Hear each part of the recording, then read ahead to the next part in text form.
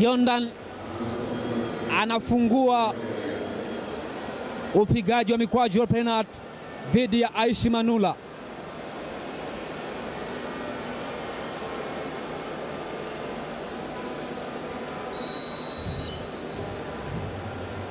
Anapiga hesabu.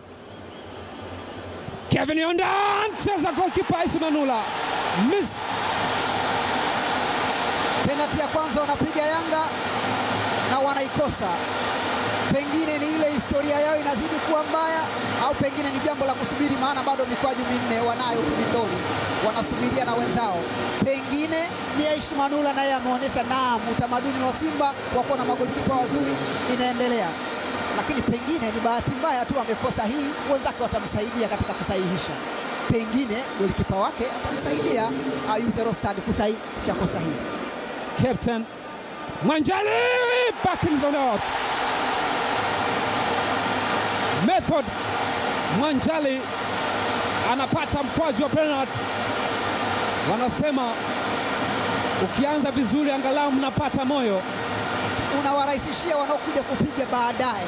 Yaani mwenzeko anakupiga penalti na anaipata, wewe unakuja kupiga ya pili, inakuongeza inakuongezea kuji Mkwaju wa penalty, Papi Kabamba Shishimbi. Karibu, karibu Yanga, Papi Kabamba Shishimbi, japo ni penalty, lakini unagusa nyavu kwa mara ya kwanza ukiwa na jezi ya kijani.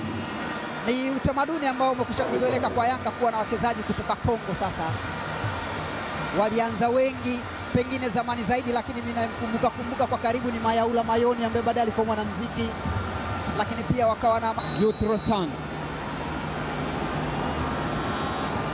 Okwip anapachika mkwaju wa penalti Nana Loki, mbili moja. ni mwendelezo wa Oki kuendelea kupata penalti. Nakumbuka hata wakati wanashinda idadi ya magoli mengi tu matano, moja penalty alipiga yeye. Ni mchezaji ambaye kwa penalti ni mzuri, ni mpigaji mzuri, na kumpoteza golikipa kap... Anaangalia, ameenda umbali kiasi, hatua kadhaa nyingi tu kurudi nyuma. Saban Kamsako, maridadi sana. Hii ni fantastic. Mbili mbili. moja ya penalti ambayo tumeishuhudia ya ufundi wa hali ya juu ni hii ambayo imepiga Tabani Sikala Kamusoko, pasi na kujalisha matokeo yatakuwaje. Hii ni penalti moja maridadi sana, Panenka yaani ni mpira unauona wewe golikipa unatamani udake, unashindwa, maana tayari umeshakaa.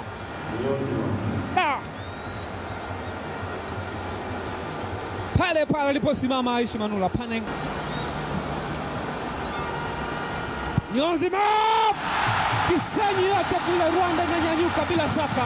Haruna Nionzima, penalti ya tatu kwa Simba. Wakati huo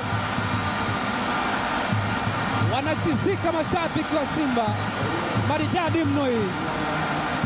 Ni moja ya penalti nzuri nyingine tunaishuhudia hapa, pengine kwa sababu ni wachezaji wa eneo la katikati ambalo wengi wanakuwa na viwango au na udambwidambwi mwingi.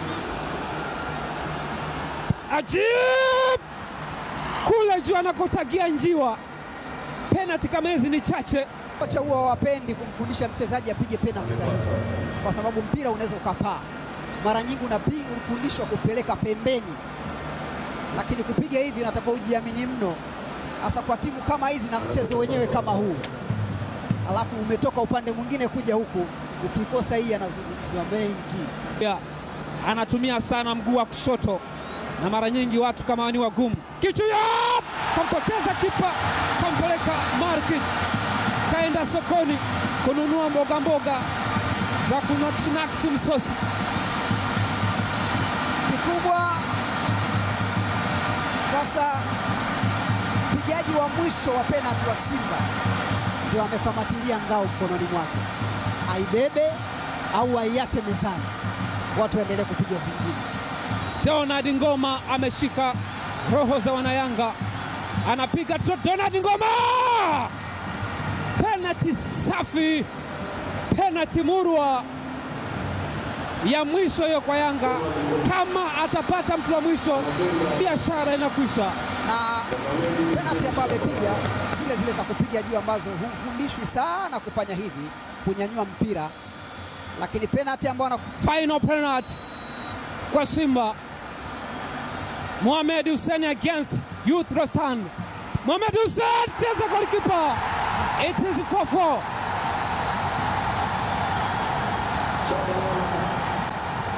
Youth Rostan anaweka uwanja uwe level.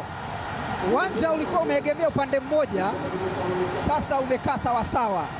Hii ni dabi ya watani wa jadi, Juma Mahavi. Hii ni moja moja kama vocha, ukipiga ukipata, na- mnaendelea. Mahavi, penati ya mwendo kasi. Mapema tu nilikwambia kama unataka kupiga penati za juu uwe na uhakika kama ambavyo amefanya Ajibu, huwa anafundisha upige pembeni. Sasa kilichotokea ndio hicho, na kwa utani wa Simba na Yanga unaweza kaambia ule mpira mpaka kesho asubuhi bado hujatua. Ama safari ya matumaini ya Yanga dhidi ya Mohamed Ibrahimo Mo! Mo! Mohamed Ibrahimo. Simba ni mabingwa ngao ya jamii. Nini? Sisi ni soka, burudani inaendelea.